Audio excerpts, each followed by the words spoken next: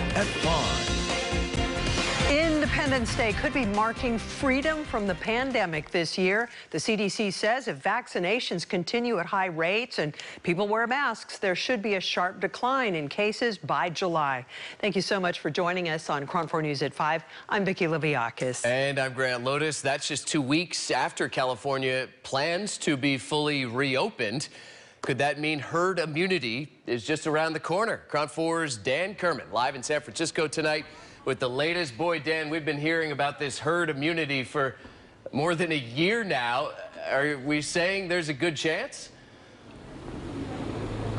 Well, we're saying that we're getting closer, and especially San Francisco and the Bay Area is getting closer. Medical experts believe we are not there yet, but it could be just weeks, possibly months away. But it is in sight, they say. Not everyone is wearing a mask in San Francisco these days. That's due in part to the success the city has had against COVID 19.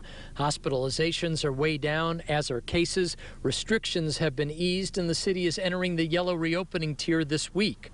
So, could herd immunity be far behind? The concept of herd immunity is that there's a the, the proportion of the population that's immune, either through having been sick or having gotten vaccine is so high that the virus can't find the next susceptible host. It, it's just the people are too spaced out who are susceptible.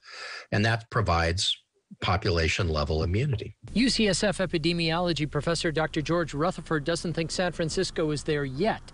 And San Francisco's deputy public health director agrees we still have some some ways to go. And again, we want to make sure that you know there's not um, pockets of places that you know where certain communities or certain age groups have not gotten vaccinated that would be very vulnerable to the disease. Right now, 73% of those eligible have been vaccinated in San Francisco, but herd immunity is typically 70 to 85% of the entire population.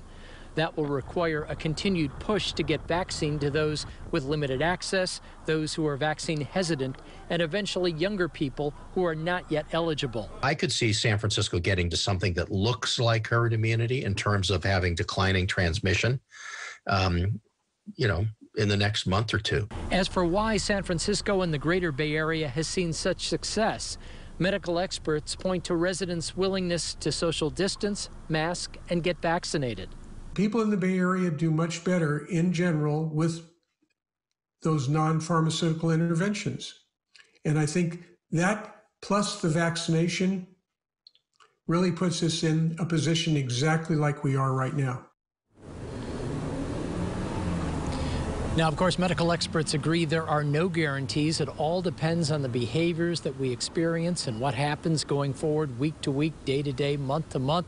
But they do believe San Francisco and the Bay Area as a whole are certainly in a better position than much of the rest of the country.